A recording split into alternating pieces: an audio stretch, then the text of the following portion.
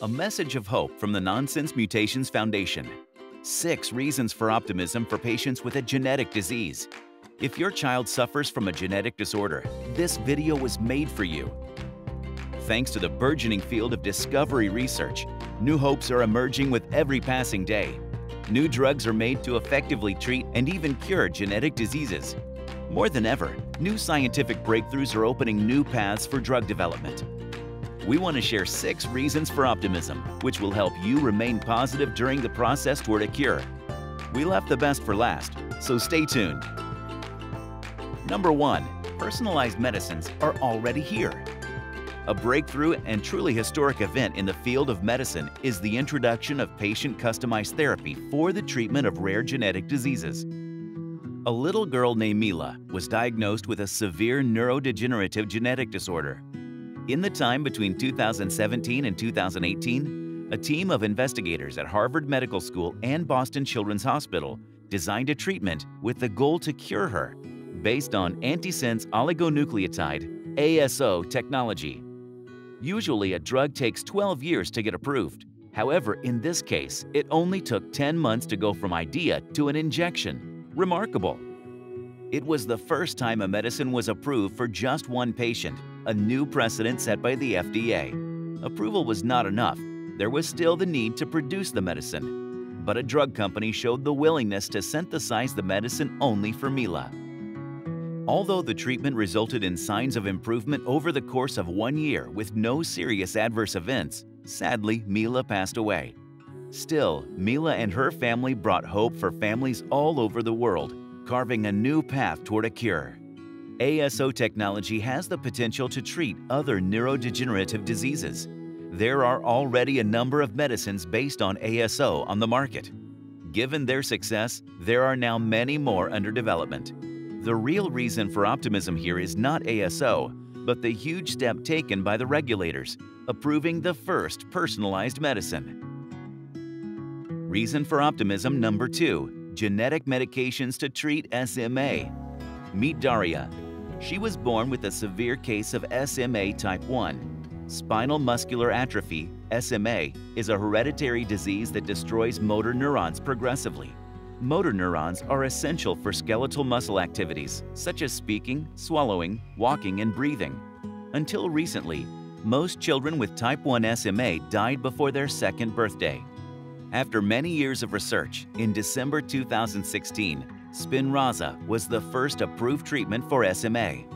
Spinraza is an ASO-based medication that has the ability to suppress splice site mutations, Remarkably, Spinraza not only improves disease symptoms, but also slows disease progression.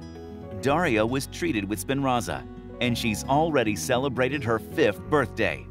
Prior to Spinraza, she couldn't move her arms, hold her head up, or sit without support. Look at her now. The resounding success of Spinraza exemplifies the value of genetic-based therapeutics, bringing researchers, clinicians, and parents to tears of joy. In 2019, Zolgensma, a second drug to treat SMA, reached the market. Zolgensma is based on a technology that delivers a correct copy of the patient's non-functioning gene directly to the damaged motor neurons. This is a one-time treatment that can cure the disease entirely. The ability to effectively deliver a functional copy of the gene is exciting and, in theory, applicable to all genetic diseases. Current methods of delivering a gene into the cells is limited to only small genes, However, cutting-edge technologies that stitch together pieces of RNA to form a functional messenger RNA can remove the size limitation. This and other approaches are opening up the possibility of therapeutics to a larger number of diseases that couldn't be treated before. Number 3. A simple medication that can cure genetic disorders. If you or someone you know carries a nonsense mutation, please listen closely. Have you ever imagined medications that are already in use that every doctor can prescribe can be used to treat genetic mutations? The popular antibiotic erythromycin has been used to treat bacterial infections for years. Recently, researchers in Israel have achieved a breakthrough for patients with nonsense mutations by using erythromycin. A nonsense mutation causes a premature stop codon to appear in the gene causing the protein to end its translation earlier than expected, resulting in a truncated copy of the protein. Familial adenomatous polyposis is a genetic disorder caused by a mutation in the APC gene. If the disorder is not diagnosed and treated, the risk that a person will develop colorectal cancer increases dramatically. A clinical trial for patients with a nonsense mutation in the APC gene showed that erythromycin can successfully reduce their risk of getting cancer. Erythromycin has a read-through capacity that enables the cell's machinery to push through the nonsense mutation and keep on reading the entire length of the gene, resulting in a functional protein. Unlike the other treatments we've presented that have been employed in clinical trials for a specific gene, erythromycin does not target the APC gene, but targets the protein-building machines, making it a possible treatment for nonsense mutation patients working as a more general treatment. At the Nonsense Mutations Foundation, we work to broaden the usage of nonsense mutation medications across any genes. If this is your mutation type, be sure to join us. Number 4. Silencing a defective gene. Defective genes can cause toxicity to the cell, leading to genetic disorders. Hereditary transthyretin amyloidosis, or HATTR, is a rare, severe, and multi-system condition affecting the nerves, heart, kidney, and eyes. This is a life-threatening disease, with death occurring, on average, within 10 years of diagnosis. It is caused by a mutation in the TTR gene, most commonly due to a specific missense mutation. This mutation causes a scenario called gain of function, which means that the protein harboring the mutation gains an undesired function that leads to the disorder. Onpattro is a medication that was generated specifically to target the TTR most common missense mutation. It uses a small interfering RNA technology, or siRNA, to silence the affected gene. By silencing only the defective gene copy, the medication reduces the number of defective proteins and prolongs patients' lives. For patients with gain-of-function genetic disorder, the success of this medication shows promise for similar targeted treatments. Number 5. Genetic treatment for a lung cancer. Not all cancer-related genes are created equally. About 25% of all lung cancers are caused by a mutation in the KRAS gene. This mutation causes a drug-resistant type of cancer that is very difficult to treat. Only recently have new medications emerged to which the mutated gene was not resistant. Under the FDA Fast Track, sotorasib was approved and is now marketed under the name Lumakras. It targets a common missense mutation in the KRAS gene called G12C. How exciting is this? Let's take it from Professor Charles Swanton, Cancer Research UK's chief clinician. Sotorasib is one of the most exciting breakthroughs in lung cancer treatment in 20 years, targeting a cancer gene that was previously untargetable and built on decades of laboratory research that's unraveled cancer's inner workings.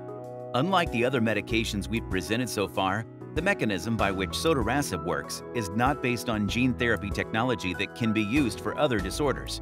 Rather, it is based on understanding how a specific missense mutation affects the function of the mutated protein. We assess that for many missense mutations, understanding the role of the mutation on the protein can form the basis of a cure. Number 6. Use of the first CRISPR medicine to cure blindness. We saved this gem for last. If you made it this far in our video, please hit the like button and subscribe to our channel to help us expand our reach. You might have heard about CRISPR, the technology that holds the key to changing our lives by reaching the holy grail of editing any gene that we choose, opening the door to treat all genetic disorders. While there is still a long road ahead of us, another big leap and major event in the history of medical science was introduced when the first CRISPR-based medicine was administered to patients.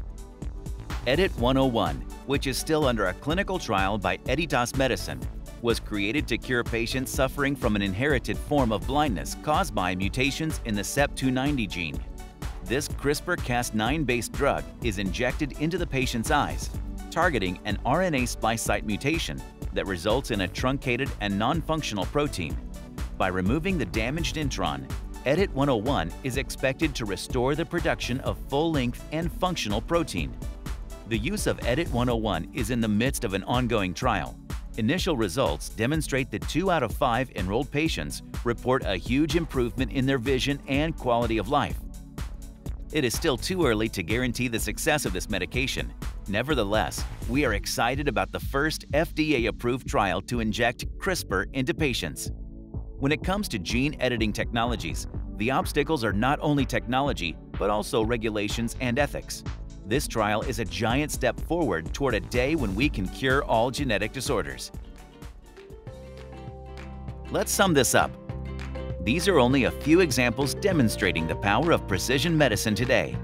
This can also emphasize the importance of getting to know the specific mutation causing the genetic disorder. As more and more therapies are mutation-specific, deciphering the genetic mutation can open a window to new treatment options that can cure the disease. We truly hope that we have left you feeling uplifted.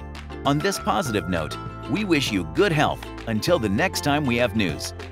This video was produced by the Nonsense Mutation Foundation. If you or someone you know has this type of mutation, we invite you to join us.